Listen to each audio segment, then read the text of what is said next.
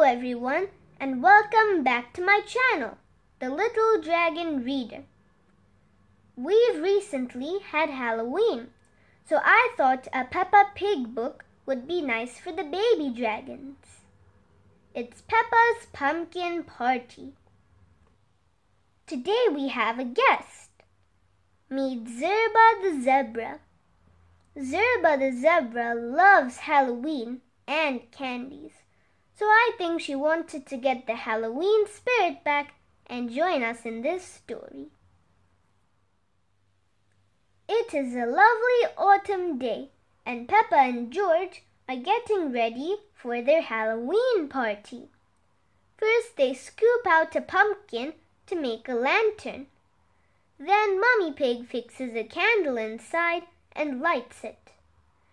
Ooh, lovely, sighs Peppa.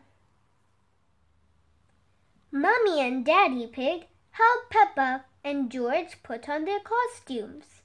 Peppa is a witch and George is a dinosaur. He he he he he, Peppa cackles. Very witchy, says Mummy Pig. Dinosaur, grrr, growls George. Peppa and George's friends have arrived.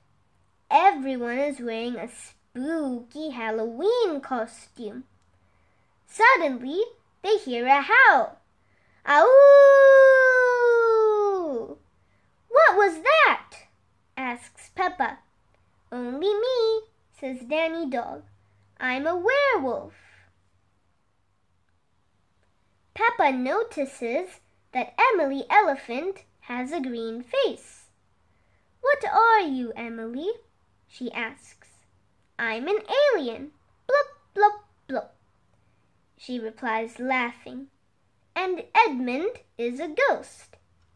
Actually, I'm a paranormal apparition, corrects Edmund.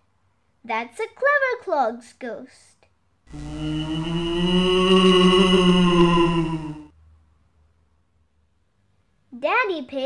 Appears at the door. Welcome to the party, everyone, he booms. Come and have some pumpkin pie. Inside, the house is decorated with balloons, cobwebs, and hanging toy bats. Even Madame Gazelle has come to the Halloween party. Hello, says Susie Sheep. I've come as a vampire. Ah, a vampire, says Madame Gazelle. That reminds me of home. How strange! Madame Gazelle doesn't seem to have a reflection in the mirror.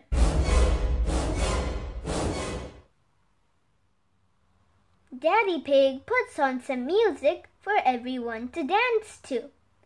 I love pumpkin parties, Peppa shouts. I love dressing up, says Susie Sheep. And everyone loves pumpkin pie, says Daddy Pig. Snort,